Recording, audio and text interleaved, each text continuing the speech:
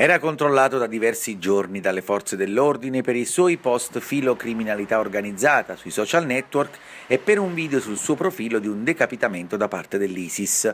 Ora è considerato un presunto terrorista ed è stato arrestato in attesa della convalida del giudice nella sua abitazione di San Gennaro Vesuviano Diego Ottati Menna, 30 anni, titolare di un negozio di ferramenta nello stesso edificio dove risiedeva nel comune del Napoletano. I carabinieri hanno fatto irruzione nel suo appartamento, rinvenendo 146 micce collegate a degli inneschi e alcuni telecomandi a distanza. Secondo il suo legale, però, l'avvocato Agnello Giuliano si trattava solo di fuochi d'artificio forniremo al magistrato elementi probatori,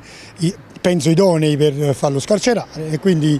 eh, io credo che fino a domani io non posso dire niente perché ci sarà ancora ci sarà, c'è, c'è da fare questo udienza di convalida quindi altro non credo che sia corretto dire. Armi non c'erano, c'erano solamente delle, delle micce perché questo ragazzo è, a lobby fa il fuochista per hobby quindi non c'erano armi, non c'era niente, c'erano solamente queste micce, questi congegni che lui usava per fare i fuochi d'artificio, tutto qua.